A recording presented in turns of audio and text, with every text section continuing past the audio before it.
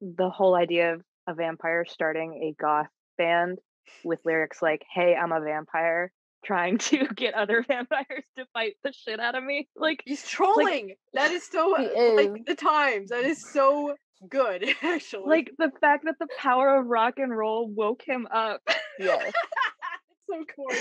and he decided it is time. Well, because he went to sleep for a long, long time.